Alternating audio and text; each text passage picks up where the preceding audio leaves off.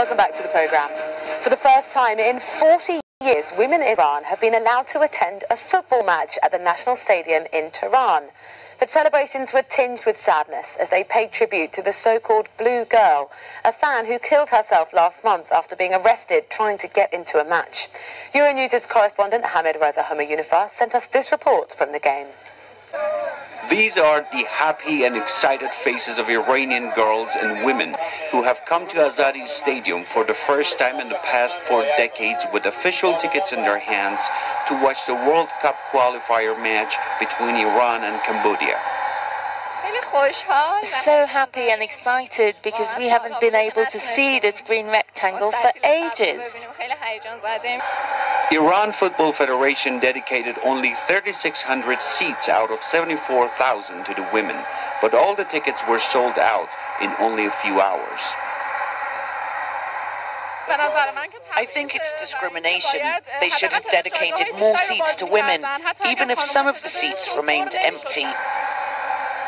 Previously, a few female fans would disguise as boys to get in. However, they were not always successful, such as Sahar Khodayari, who set herself on fire fearing from being jailed for trying to enter the stadium. Too many bad things happened.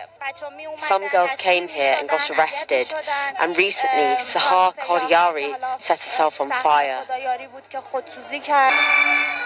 Iranian women believe a threat to ban Iran from international competition by football's world governing body, FIFA, influenced Iran to open the stadium doors to them. But Iranian officials insisted admitting women into the stadium was a decision made based on women's demands, not pressure from outside. Unfortunately, some people want to connect today's event to foreign decisions.